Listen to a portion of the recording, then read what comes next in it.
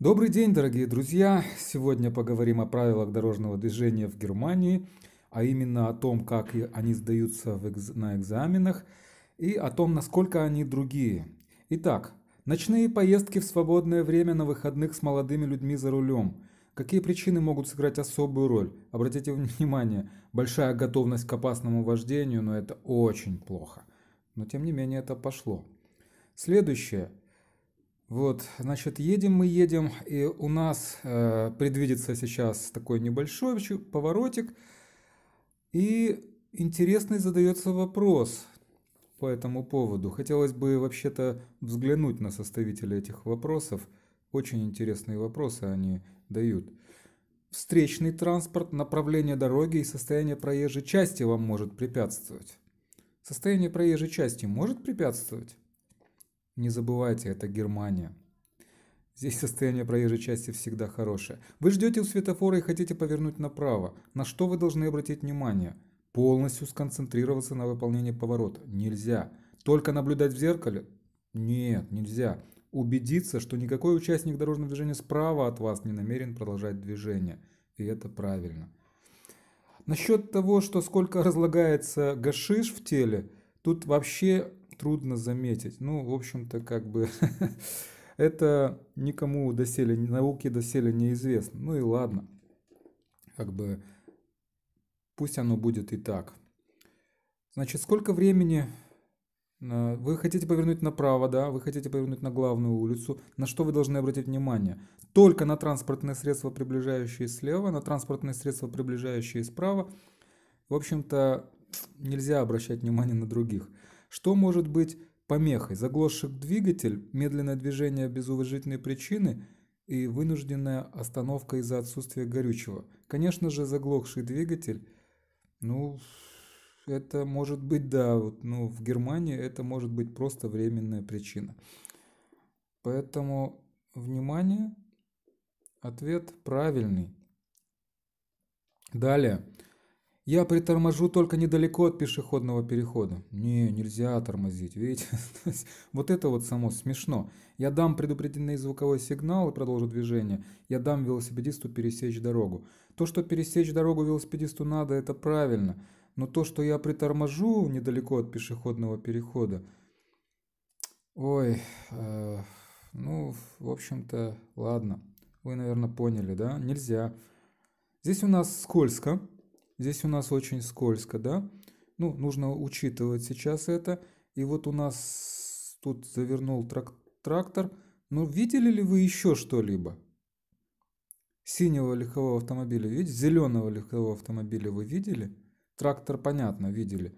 Ну, почему вам следует затормозить? Оказывается, там где-то ехал зеленый легковой автомобиль.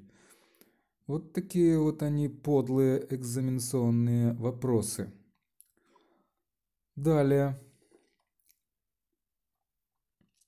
Едешь ты, едешь, едешь ты, едешь. Дорога немного поворачивает. Навстречу транспорт едет. Сзади обгон совершают. Но что за вопрос? Значит, из-за чего возникнуть может опасная ситуация? Именно из-за красного автомобиля, из-за встречного транспорта, из-за трактора. Ну, из-за встречного, да, тут не смешно.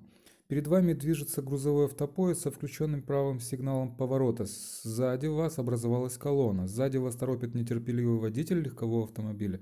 Что вы можете сделать? Я увеличу расстояние до грузового, грузового автопоезда. Я обгоняю, так как предполагаю, что водитель грузового автомобиля хочет дать мне знак для обгона. Это было бы у нас. Далее. Когда вам разрешается включать задние противотуманки? Если из-за тумана дальность видимости составляет более, то есть менее 50 метров, если из-за сильного дождя ухудшена видимость, если из-за тумана дальность видимости составляет 100 метров. Ну, понятно, что это 50 метров. И что там у нас? Сильный дождь, ухудшение видимости. Не нужно включать противотуманки. Вот такие вот они непростые. А вот обратите внимание на видите ли вы там вот картинку, да? Тут нужно отказаться от своего преимущества, вот тоже интересный вопрос. Э, Что действует для вас при этом дорожном знаке? Я должен объехать препятствие слева, я обязан повернуть налево. Перед э, дорожным знаком мне нельзя поворачивать направо. Ну ладно, то есть могу объехать препятствие слева, все остальное оно как-то не очень, да? Все правильно, идем дальше. Вы хотите поставить на уклоне свой одноосный прицеп. Что нужно сделать? Затянуть стояночный тормоз, продолж- подложить под колеса, запереть. Так, что там дальше? Я должен последовать за транспортным средством, если... А, а, полицейский жезл. Я должен повернуть в указанном направлении. Нет. Мне запрещено обгонять транспортное средство. Интересно. Значит, вообще, ну, да, мне запрещено обгонять транспортное средство. А, ну, что же здесь? Здесь все так, да. Идем дальше. Но тем не менее, да, вопросы такие, которые вот, ну, у нас обычно как? Один вопрос правильно, все остальные все. Так, здесь.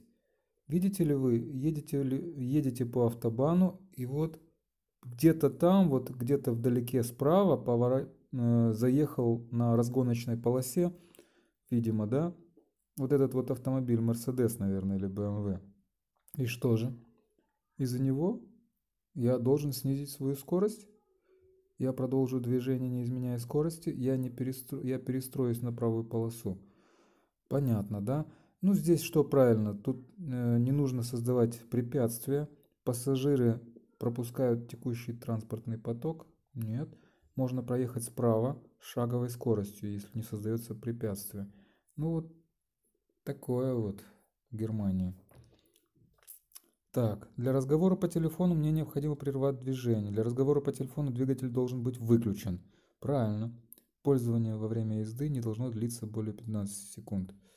Нельзя разговаривать вообще не 2 секунды, даже не одну.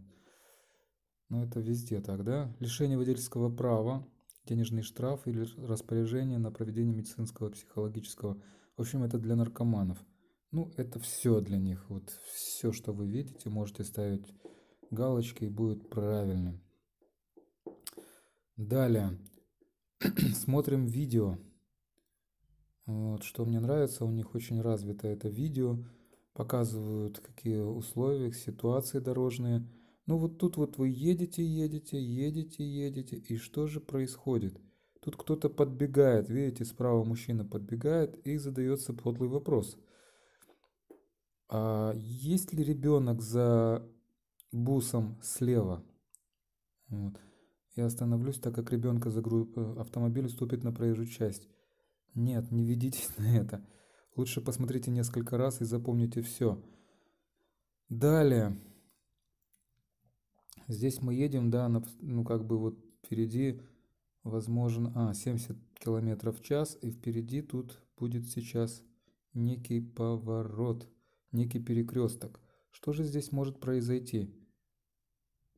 Здесь происходит, значит, справа у нас велосипедист, впереди автомобиль.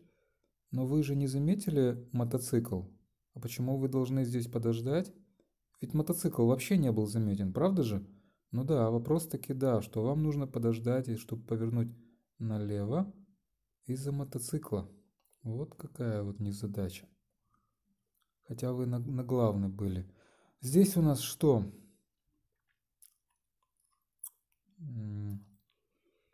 Вообще такая ситуация, да, вот кто-то стоит, что-то у него там не случилось, что-то поломалось.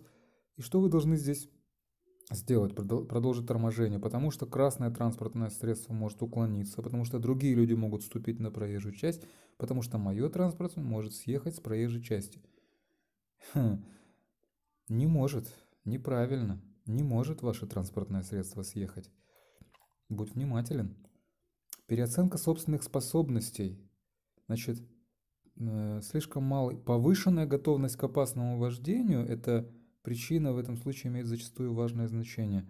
Значит, то, что вы очень сильно готовы к опасному вождению, ну, то есть вы хорошо готовы, это считается причиной. Вот это вот смешно, правда?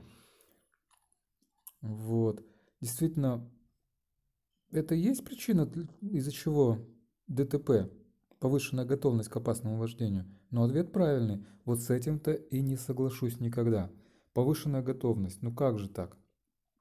В каких случаях вам не разрешается встать на стоянку на...